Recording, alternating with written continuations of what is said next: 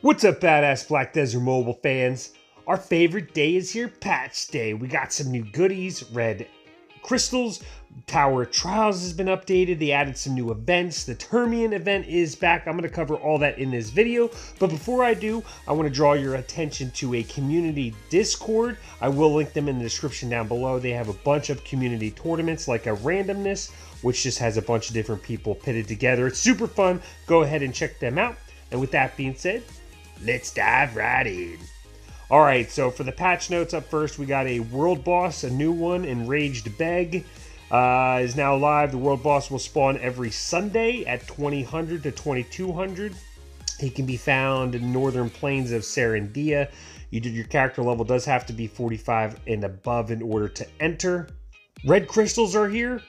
They do have higher uh, stats and branch damages. Abyssal crystals can be obtained at the certain at a certain rate through the crystal fusion by going to your black spirits. That's the only way to get them. They added Temple of the Sun. Temple of the Sun you can enter. It is it's only going to come July 25th and July 26th. In this event, only a limited number of people can enter the chamber in the Temple of Sun. When you enter the chamber, you can make offerings of silver to receive rewards. When making offerings with silver, the item that you receive as rewards will uh, be from the normal list of items, with a chance of receiving an item from the best item list, and there is abyssal stuff up there. There's a limit to the number of people that can enter one chamber in the Temple of Ancients. However, the chamber will remain available until the best rewards have been claimed. The event schedule and conditions are subject to change. You can see the dates and times for those, so they're only going to be open for two days. There's going to be four different sessions. So 14 and then 1450 and then 2200 and 2215. Each chamber in the Temple of the Sun will have a limited number of spots available for participate participants. Participating in this event within a safe zone is recommended. Having at least 15 inventory slots available is also recommended. Make sure to check your inventory space. It's also not recommended to be auto farming while inside. Guild Rush Season 2, so they updated the Guild of Boss Rushes. The new season will bring about an increase in the Guild Rush bosses, as well as their attack, increase in their attack and their attack and defense power. And they also drop a higher grade reward. The number of summoning stones required for the Guild Rush has been changed to five, and the rewards have been increased to match this as well.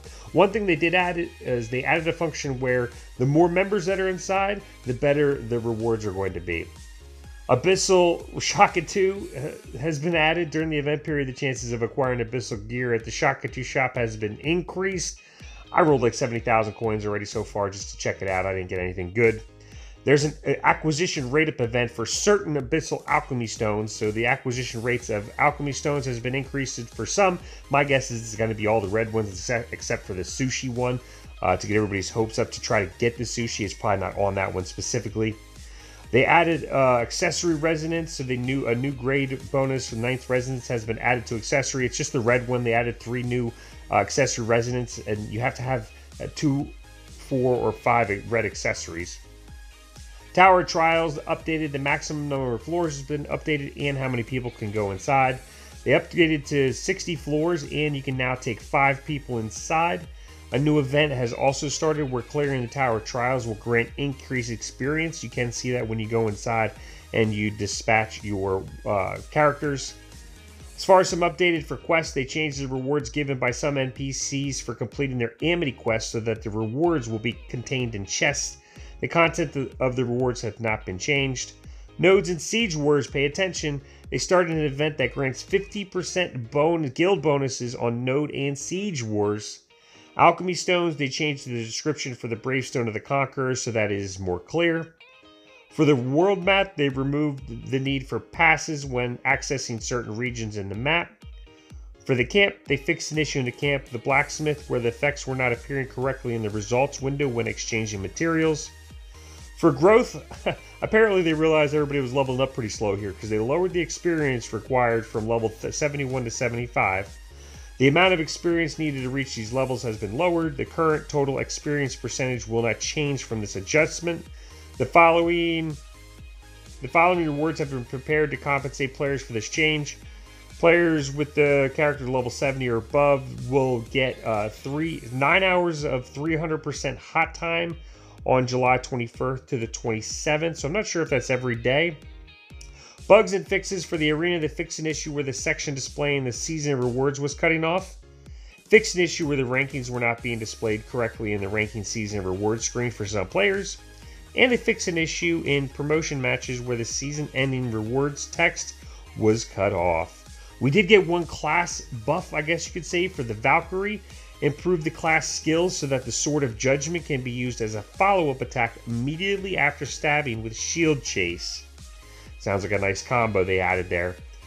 For some additional notices, uh, best missions for new Return and Adventures event discovered an issue uh, two weeks ago in the patch. Rewards containing the compens- uh, completion rewards for the 14 day event. We got this event. I have this event right now. Mo- uh, some people had it two weeks ago. Some people are getting it right now. That event is currently going on. New events. They added the Temple of Sun I talked about. Terrmian. They added a Harrowen special mission and Beat the Summer Heat event. I, I will cover those in the game. As far as the Talus shop. I am going to cover the in, in the Talus shop. All right, let's take a look at the cash shop, what they gave us. So they gave us a pearls plus crystals chest. It's going to cost probably like 10 bucks. Gives you 400 pearls, 100 black pearls, mystical crystal access or mystical crystal chest times five. There's also one that gives a thousand pearls, 1500 black or a thousand pearls, 500 black pearls, and then 30 times mystical crystal chest. That one's probably 30 bucks. There's a mystical crystal package for one. It costs 500 black pearls, and you get five mystical crystal chests. And you have the chance on the third purchase to obtain a mystical slash crystal uh, chest. They also have it for 900 pearls, where you can do it times 10, and then for one once you purchase three. You want to make sure you pay attention to those. I'll talk about those in a second. Etheria Marine, they did add a new outfit. Uh, they also added a new pet. They're the same price as 960 white pearls and 400 uh, black pearls, and that's not or 400 pearls for the parrot. They added magic residue where you can purchase 500 black pearls get you 3000 residue, and then 500 black pearls get you 5000 essence. Last thing I have for you guys before we go over the, over the events in the game is the uh, update to the sun. Now they didn't tell us how to participate, so there's a little bit more info in here for the Temple of Sun. When a chamber in the Temple of Sun opens, a server-wide three-minute waiting period uh, will be sent out. This is triggers a three-minute wait, waiting period as well. It does send out a server-wide message. When the three-minute time ends, you can enter the chamber by tapping on the sun icon beside the mini-map. Entry on the first come, first serve basis. Once you enter the Temple of the Sun, you can check the following for each chamber the best rewards, the fee per offering, the number of participants, and the closing time. Every time you tap on the offering button, you will make an offering of a specified amount of silver and you will receive one of the item rewards at random. Tap and hold the offering button to start auto offering. A message that states auto offering has been enabled and will appear once the function has been enabled. All of the adventurers in the chamber will be making offerings at the same time, thus, certain rewards may run out depending on the rewards obtained. You will be kicked out of the chamber if you do not make an offering for 30 seconds. You may not be able to enter the chamber again if the chamber is full. The Chamber of the Temple Sun will be open for two hours, but the chamber will close early if all rewards have been claimed. Please check the following conditions to enter the Temple of the Sun, and those I already covered. Alright, let's check out the events in the game. Up first, we're going to take a look at the events. Uh, they did fix the chest, the outfit chest for the Amazon event. I was able to open up mine, and the light stones are supposed to come at 1600. Hopefully, there is no issue with those. There is a best missions for new and returning adventures. So this is the event some of you guys got two weeks ago. The rest of us are got now. It does go for 49 days. You can see in the top left up there. So we're going to be able to complete that with a lot of extra time. There is a new, the Terrmian Pirate Island. So Terrmian is back. We got it one time before. You can go inside. You can do one mission that mission every day. You get all of these rewards. So you get them all. It's not just one. You get all of them. The biggest thing there is the magical essence. That is uh, hard stuff to come by. Uh, so you do get a thousand of that every day. That event is going for two weeks. And there is the Cox Pirates inside of here that spawn at 1100 to 1200 and 1900 to 2000. Last time we had those, they were dropping Grand Blackstones, which was very popular. I'm assuming they might drop some better items, some updated rewards from that bad boy. I'm super excited to hop in there and check it out. They added that Temple of Sun login event. Now, I already went over the event. This is something slightly different. They're just giving you rewards every day when you log in. These are sellable items that you can sell to vendor. Nothing more, nothing less. You could probably save them, put them in your inventory in case they are required for an event or a collection down the road. We got Beat the Summer Heat Plaque Black Spirit Bingo. This is one of the better ones out there. You just got to complete the tasks at the bottom and then you can play bingo.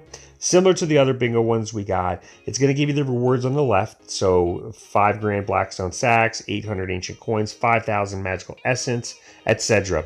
On the right, you can see after you complete three rows, you're going to get Black Spirit Mini Pool, which you can add to your camp. Not 100% we're sure what that does. We're going to have to find out. This is great for me.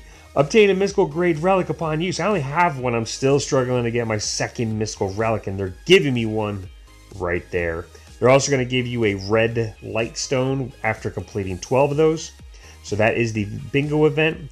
Heroine's special mission. This is for completing the Tower of Trials. So if you complete it twice, you're going to get two of the Grand Blackstone Fortune Sacks. Once you complete three, you're going to get three. And once you complete five, you get five.